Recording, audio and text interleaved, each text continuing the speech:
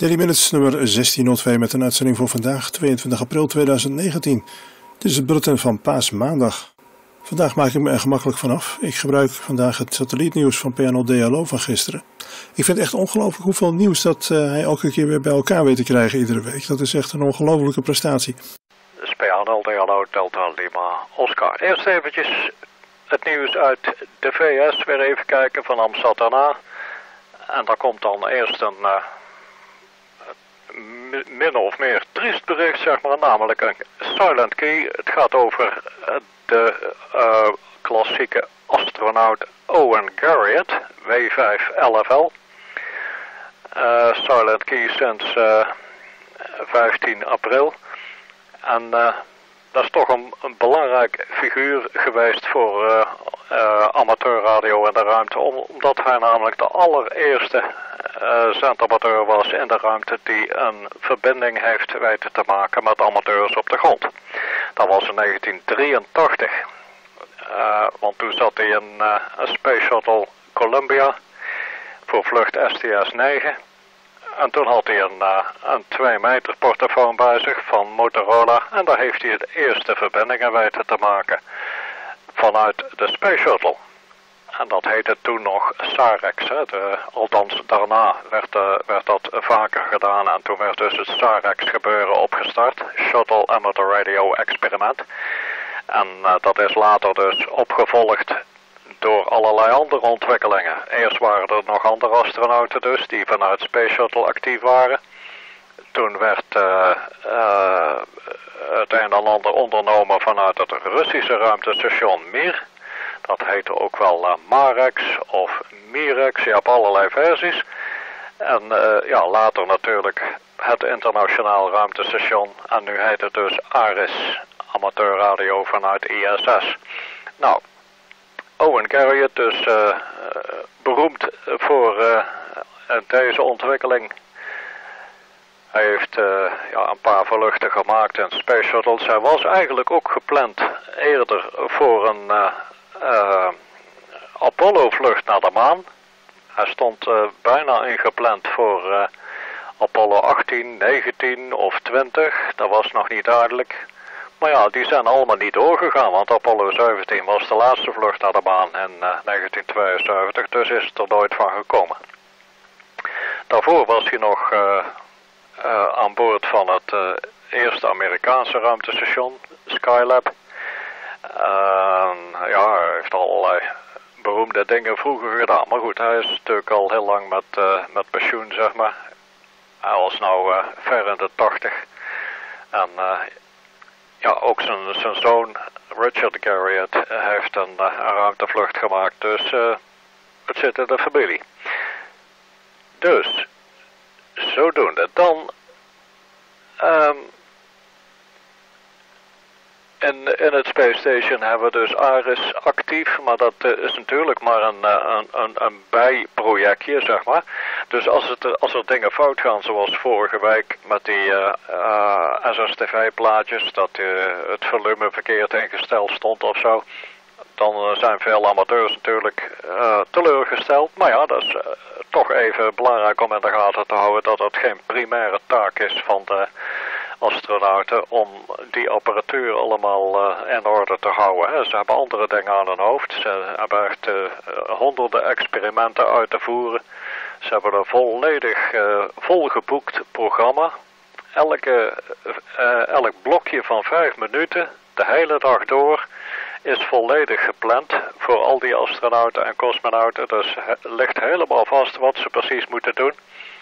En ja, vrije tijd hebben ze wel een beetje, maar uh, uh, dan hebben ze toch vaak andere dingen te doen. Dus amateurradio, ja, dat is ook ingepland voor, voor wat betreft ARIS-verbindingen natuurlijk. Maar verder activiteiten, dat moeten ze dan echt heel enthousiast zelf willen doen. Zoals bij een vorige vlucht waarbij een van de astronauten regelmatig amateurverbindingen zat te maken, spontaan in de vrije tijd. Maar dat is niet altijd zo. En dus is het maar afwachten als er iets misgaat met die apparatuur. of dan een astronaut gevonden kan worden die daar even tijd voor heeft om er naar te kijken. Nou, dat gaan ze hopelijk uh, makkelijker uh, kunnen regelen met de nieuwe apparatuur die eraan zit te komen. Met, met een universele voeding en dat soort dingen. En als dat eenmaal operationeel is, dan wordt het wat interessanter. Want dan kunnen ook ehm, grondstations die apparatuur zelf bedienen. Dus als er iets mis is, kunnen ze gewoon proberen op afstand met commando's die apparatuur uh, te resetten of in een andere mode te zetten of wat dan ook. En dan hebben ze daar geen, geen astronaut bij nodig. Dus uh, ja, even afwachten. Maar dat, dat soort dingen ja, zijn nog in ontwikkeling en dat kost allemaal heel veel geld om dat uh, ja, gebouwd, getest en gelanceerd te krijgen. En daarom vragen ze natuurlijk weer om sponsors en donaties en zo voor uh, die ontwikkelingen. Verder is van de week weer een Cygnus gelanceerd. Een ruimtevrachtschip met een Antares-raket vanaf Wallops Island naar het Space Station. En ja, die heeft allerlei dingen aan boord uh, een paar ton aan vracht en aan water en dat soort dingen. Maar ook had hij weer een stel satellieten bij zich. Nou, uh, een aantal daarvan zijn uh, al gelanceerd, want die zaten aan de bovenste trap van de raket vast. Die hadden niks met Cygnus zelf te maken, dus die konden al kort na de lancering gelanceerd worden in een lagere baan. dat is één 3-unit CubeSat. En een aantal kleintjes, ThinSat, dunne satellieten, want dat zijn namelijk kleine satellieten die afmetingen hebben van, zeg maar, doosje van een CD of DVD. Ehm, nou, die, die moeten wel gelanceerd zijn, maar ze zijn kennelijk nog niet opgespoord met, uh, met de radar, want er zijn nog steeds geen baanparameters van bekend. En uh, ja, afwachten wat daarmee gebeurt. Die, uh, die kleine dunne satellieten die zullen waarschijnlijk al binnen een week verbranden in de atmosfeer. Dus over een paar dagen zijn die alweer verdwenen. Misschien al voordat ze opgespoord zijn met het trackingnetwerk.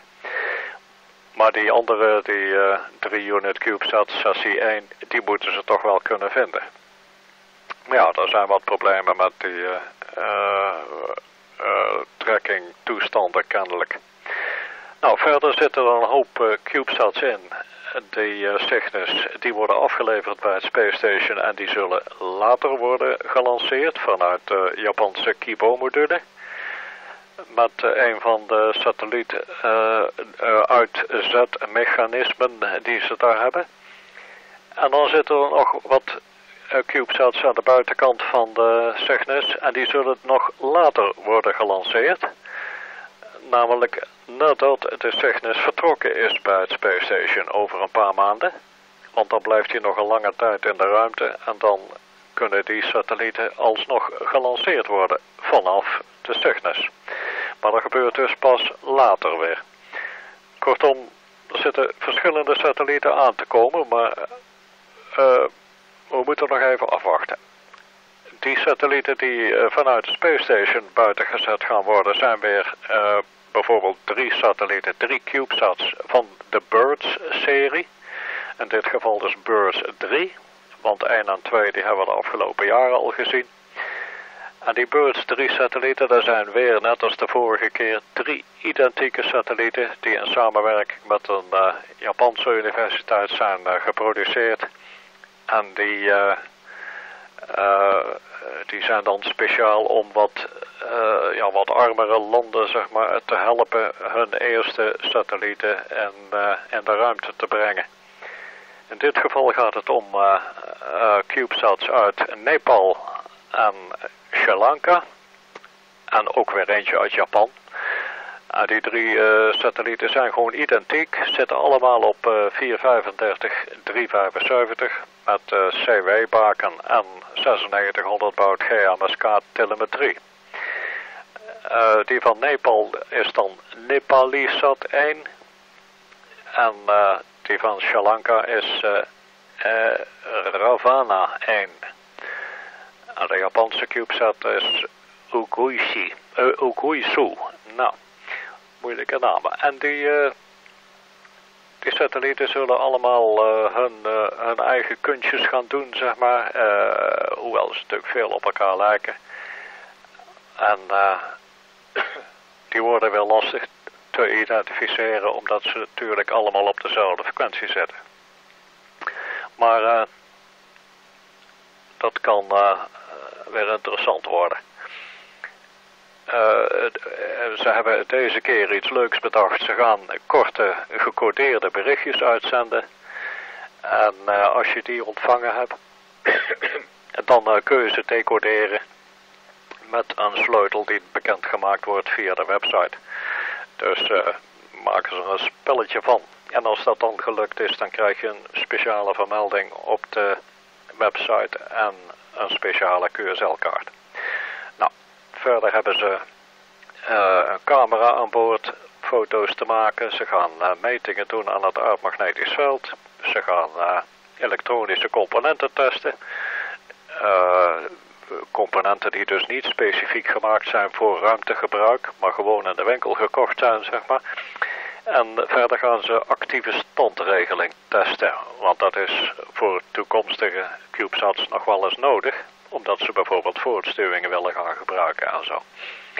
Dus dat wat betreft de drie uh, kleine CubeSats in het Birds gebeuren. Nou, verder zijn er nog wat uh, andere satellieten die later gelanceerd gaan worden vanuit ISS of vanuit de Cygnus. Zoals uh, en Kraksat, allebei uit Polen. En uh, die hebben dus ook, nou ja, in ieder geval de eerste die heeft een FM-relais aan boord en enkele telemetrie downlinks. En nou zijn er, ja, dat is een beetje verwarring over de frequentie, of nou de uplink of downlink op 2 meter zit. Ze zeggen uplink op 70, downlink op 2, maar de telemetrie zit weer op 70. En dat is natuurlijk een beetje vreemd. Maar goed, verder ook een telemetrie op uh, uh, 13 centimeter voor high speed data. En die, uh, die kraksat die komt dan ook op 70 centimeter met alleen downlink uh, 435, 500 en zo. Maar daar komen we later dan wel op als, eh, als die satellieten eenmaal actief zijn. Verder is uh, Entrisat geproduceerd en die komt uit Frankrijk. Een 3-unit CubeSat, daar willen ze allerlei metingen gaan doen op lage hoogte de thermosfeer gaan meten en zo. En uh, vooral ook gaan kijken wat die satelliet doet uh, in de periode dat hij begint te verbranden in de atmosfeer. Want dat gaat natuurlijk ook alweer na een paar maanden gebeuren. Dus zodra die beneden 200 kilometer wordt, gaan ze hem extra goed in de gaten houden. Ook die zal een, een FM-relais hebben. Um, met uplink op 2, downlink op 70. En uh, die kan dan ook door amateurs gebruikt worden. Zolang als hij leeft nog, hè. Ja, vorige week hadden we het al over de Australische CubeSat, die op onder andere 76 gigahertz gaat komen. Dus als je daar iets mee wil, kun je er ook al op voor gaan bereiden. en verder, de FunCubes. Uh, Amsat UK heeft een aantal uh, FunCube um, gevallen uh, uh, rondvliegen. Natuurlijk Oscar 73 uh, en, en een paar latere, Naïef 1, JA1 SAT en ECO. En later hopen ze ook nog een FunCube in het project te krijgen wat naar de maan gaat. Een baan om de maan. Het Lunar Orbital Platform Gateway gebeuren. En nou ja, voor al die FunCubes hebben ze nu uh, data warehouse mogelijkheden al. Al een tijdje, maar die, die zaten allemaal op verschillende plekken met verschillende URL's en zo. Nou, daar hebben ze nu eindelijk allemaal samengevoegd. Dus voor alle satellieten kun je nu alle telemetrie zien op uh, data.amsatmenuk.org. En de oude URL's, die, ja, die zijn er nog wel, maar die worden niet meer up-to-date gehouden. Daar wordt niks meer mee gedaan. Dus je moet nu echt op die nieuwe URL zijn. En uh, daar zit dus ook een, ja, allerlei extra data. Maar je kunt dus real-time telemetrie zien, ook data die verzameld is over langere perioden. En dat kun je allemaal analyseren. Alle telemetrie wordt dus gewoon openbaar gemaakt via die website van al die uh, FunCube satellieten. Dan zit er op dit moment een clubje lieden in de Scilly Islands, St. Mary Island bijvoorbeeld. En eh, die, dat gaat tot en met 27 april nog met uh, wat Engelse amateurs. Dus dat is bij, uh, bij Groot-Brittannië. En die zijn op een heleboel banden actief achter de expeditie 160 tot en met 10 meter, maar ze proberen ook wat via amateursatellieten te doen. Maar dat lijkt een beetje een soort bijzaak. Het is niet zeker dat dat ook echt uh, groot uh, opgezet gaat worden. Maar wie weet kun je dus een uh, speciale ja, DX-verbinding eigenlijk hebben met Golf Bravo, Golf Bravo F5 Sierra Mike. Dus die kun je mogelijk aantreffen. Nou, verder later nog andere DX uit IJsland, maar dat is pas in juli. Uh, Amstad India, die hebben allerlei activiteiten ondernomen om daar uh, amateursatellieten wat populair te maken. Uh, en dat is een groot succes geworden. Uh, NASA is er weer allerlei dingen aan het doen richting educatieve ontwikkelingen. Ja. Nou, dan hebben we Virgin Orbit. Um, die uh, zijn bezig met de voorbereidingen voor lanceringen van satellieten met een, nieuwe raket, Launcher One. En dat is een kleinere raket die ze uh, meenemen onder een een Boeing 747, een Jumbo Jet, die dan eh, op verschillende plaatsen kan starten. Bijvoorbeeld in de VS of in, in Engeland. Of uh, nu hebben ze ook bedacht dat te gaan doen vanaf een vliegveld op Guam. Een eiland in de Stille Oceaan. Dus ze kunnen dus op verschillende plekken uh, bij ook lagere breedtegraden. En dat helpt altijd om extra energie te krijgen natuurlijk. Dus dan kunnen ze makkelijk die raket lanceren met kleine satellieten. Dus dat kan interessant worden met allerlei CubeSats. Uh, binnenkort. Nou, de eerste lanceringen die staan binnenkort gepland. Dus uh, ze zijn op meerdere plaatsen van plan mogelijkheden te krijgen om satellieten tot zo'n 450 eh, kilo naar een 500 eh, kilometer hoge baan eh, te lanceren. Um, kijk, ja, het, het Hackspace magazine nummer 18 is uit en daar hebben ze een, een paar artikelen in staan over ja, bijvoorbeeld de ontvangst van SSTV vanuit ISS of dat soort dingen. Gebruikmakend van bijvoorbeeld een Raspberry Pi en zo. Maar ook het opzetten van een grondstation voor het SatNOX netwerk. En uh, dat, uh, dat wordt dan in een paar artikelen beschreven. Dus dat is niet specifiek voor, voor radioamateurs, maar wat breder. Voor de, voor de hackerswereld, zoals dat dan heet. Nou, en die uh, beginnen daar ook steeds meer lol in te krijgen om ook in de ruimte dingen te gaan doen. Um, kijken, andere zaken zijn voor ons minder interessant. Dan hebben we... Uh, kijken... Ja, eh, AISAT 1, die uh, APRS repeater of packet repeater van Amstad India die aan de, aan de bovenste trap van de raket nog vastzit en daar ook aan blijft zitten. Die, die doet het wel, maar het is allemaal een beetje behelpen omdat dus de de gebruikte normen niet helemaal kloppen, maar oké.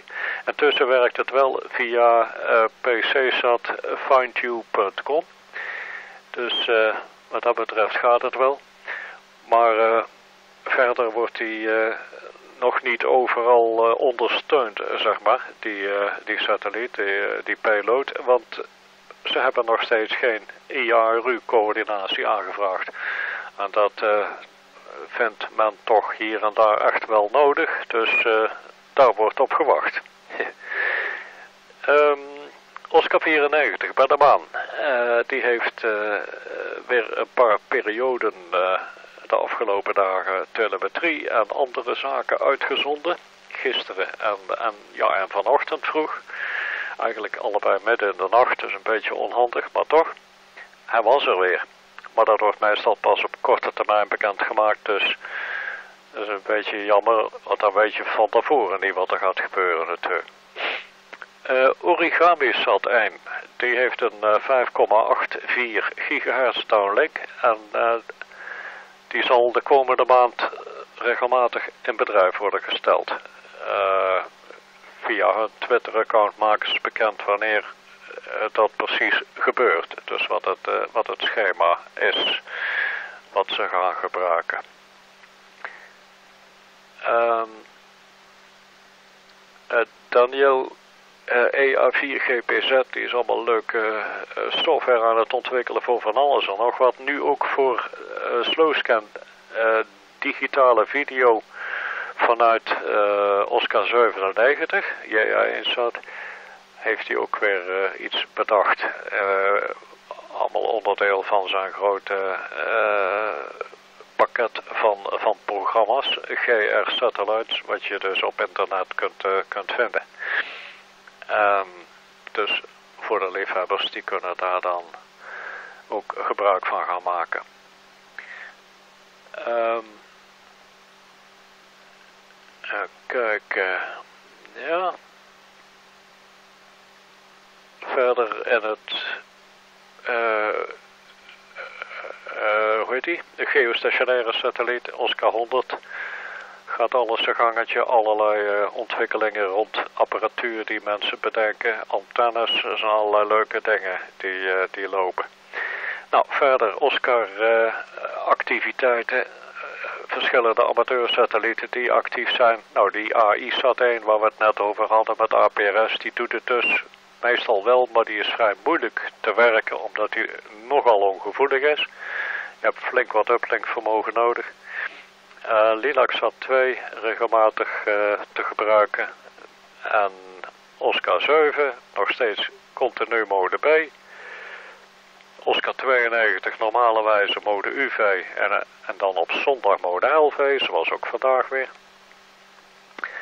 Uh, Oscar 11 was afgelopen week uitgeschakeld. Die zal uh, komende week wel weer ingeschakeld zijn. Dat doet hij zelf met zijn eigen uh, boordklok. Nou, Oscar 29 actief, de XW2 satellieten, CAS 4 ANB, Oscar 50, allemaal operationeel. Oscar 73 voorlopig dus echt alleen telemetrie. Um, Oscar 86 actief, 88 ook, 91 ook. En verder Oscar 84 digibieter. nou, en dan Oscar 100 natuurlijk volop met zijn uh, twee relais-systemen, smal en breedband.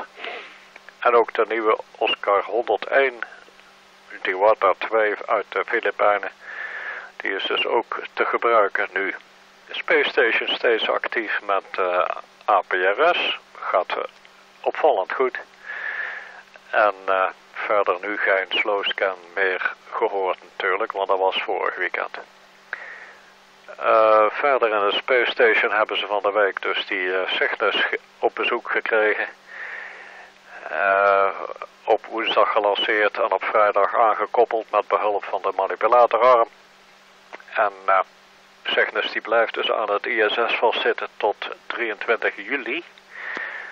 Dan, uh, dan koppelt hij los en dan gaat hij daarna nog wat satellieten uitzenden. En dan blijft hij vervolgens toch nog negen maanden in de ruimte voor alle mogelijke experimenten.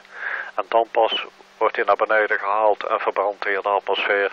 met al het afval wat er dan vanuit de Space Station ingestopt was voor die vertrok. Verder een heleboel experimenten en het ISS zoals gebruikelijk. Um, ja, lanceringen. Er zit uh, dus weer een Dragon-lancering aan te komen als het goed is op 30 april. Maar dat kon wel eens uitgesteld worden, omdat er ook problemen zijn met uh, de Crew Dragon. Uh, er is dus onlangs een vlucht geweest van de eerste Dragon voor bemande vluchten naar het ISS. Dat is allemaal vlekkeloos verlopen. Nu hebben ze diezelfde Dragon-capsule gebruikt voor de eerste testen van ontsnappingsmechanismen voor astronauten. Voor als er bij de lancering iets misgaat.